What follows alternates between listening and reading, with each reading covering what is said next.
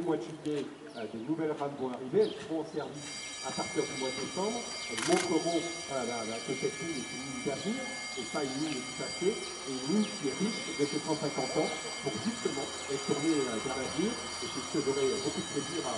partager avec toutes celles et tous ceux qui, euh, l'année prochaine, participeront à des initiatives nombreuses pour les 150 ans, et je vous donne rendez-vous dans Merci, bon appétit et bonne fin de journée.